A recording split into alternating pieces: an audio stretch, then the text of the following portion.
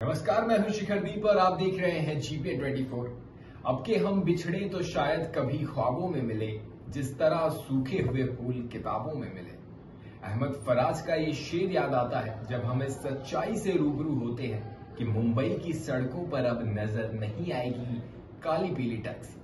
पहले double decker bus बंद हुई और अब काली पीली टैक्सी। काली पीली टैक्सी मुंबई कर के लिए सिर्फ़ टैक्सी नहीं है, एक इमोशन है। न जाने कितनी कहानियाँ जुड़ी होंगी लोगों की।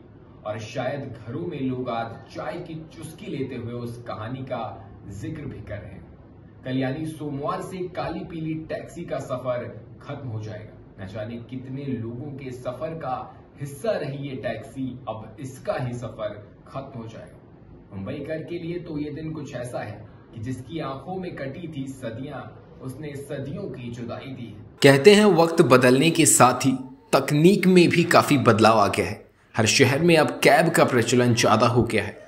कहीं भी जाना हो तो ऑनलाइन कैब मौजूद है। बस थोड़ी सी फॉर्मेलिटी और सुखद यात्रा का लोग आनंद ले रहे हैं। वहीं पिछले कई दशकों से एक दो नहीं, करीब छह दशकों से देश की आर्थिक राजधानी मुंबई की सड़कों पर काली पीली टैक्सी को आपने सर पर दौड़ते देखा है। मुंबई में रहने वालों के लिए तो ये काली पीली प्रीमियर पद्मिनी टैक्सी की तस्वीर जहन में बसी है। इस टैक्सी सेवा को काली पीली टैक्सी सेवा के तौर पर जाना जाता था और मुंबई वासियों का इस टैक्सी सेवा से गहरा जुड़ाव रहा है। अब उन लोगों के लिए एक दुखद खबर वो ये है कि सोमवार यानी 30 अक्टूबर से अब इस काली पीली टैक्सी की यात्रा समाप्त होने जा रही है।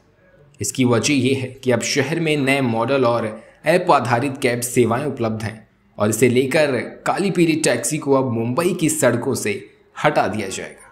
बता दें कि मुंबई में हाल में सार्वजनिक ट्रांसपोर्ट बेस्ट की प्रसिद्ध लाल डबल डेकर डीजल बसों को भी सड़कों से हटा दिया गया है और इसके बाद अब ये काली पीली टैक्सी भी सड़कों पर नज़र नहीं आएगी। काली पीली टैक्सी को म्यूज़ियम में रखने की मांग परिवहन विभाग के एक अधिकारी ने कहा कि प्रीमियम पद्मिनी की आखिरी टैक्सी को 29 नवंबर 2003 को तारदेव आरटीओ में पंजीकृत किया गया था। उन्होंने बताया कि शहर में कैब संचालन की समय सीमा 20 साल है। ऐसे में अब सोमवार से मुंबई में आधिकारिक तौर पर प्रीमियर पद्मिनी यानी काली पीली टैक्सी सड़कों पर नहीं चलेगी। वहीं मुंबई की आखिरी पंजीकृत premier Padmini taxi M S zero one J two five five six की मालिक प्रभा देवी ने कहा यह मुंबई की शान है और हमारी जान है। आपको बता दें, उन्नीस में पद्मिनी की शुरुआत यात्रा हुई थी। वहीं मुंबई के कुछ लोगों ने मांग की है कि कम से कम एक प्रीमियर पद्मिनी को संग्रहालय में संरक्षित किया जाना चाहिए। बता दें कि कुछ साल पहले मुंबई टैक्सी मैन यूनियन ने सरकार से कम से कम एक काली पीली टैक्सी को संरक्षित करने के लिए याचिका दायर की थी, लेकिन कोई सफलता नहीं मिली। मुंबई टैक्सी मैन्स यूनियन के महासचिव ए एल क्वाद्रोस ने बताया कि टैक्सी के रूप में प्रीमियर पद्मिनी ने अपनी यात्रा उन्नीस में फिएट 1100 डिलाइट मॉडल के साथ शुरू की थी।